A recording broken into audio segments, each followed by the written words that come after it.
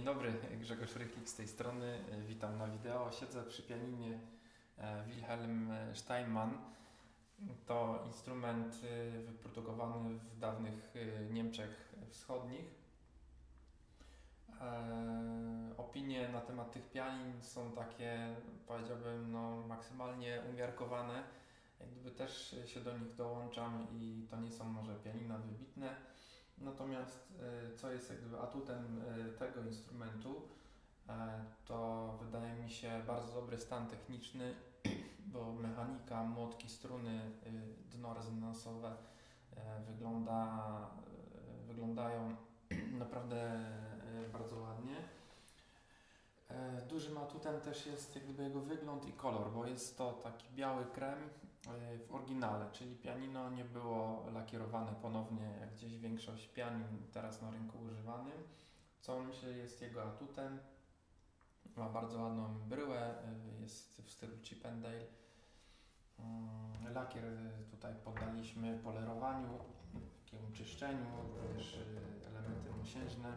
Troszkę tutaj widać e, odcień żółtego, taki pasek y, i tutaj e, już nie, nie udało się tego jak gdyby zdjąć od y, otwierania e, nakrywy. Mm, także jeśli zależy Ci na e, jakiejś umiarkowanej cenie i na eleganckim białym meblu, to polecę Ci właśnie Steinmana, który ma taki mocniejszy dźwięk.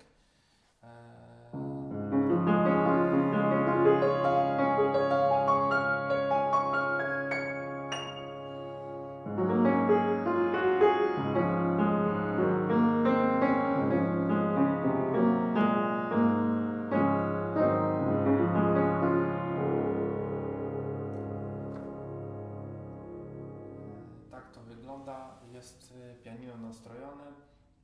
Natomiast jeszcze nie jest wyregulowane. Mam takie uczucie, że jest ciężkie, dlatego że nie jest wyregulowany e, chód tłumika.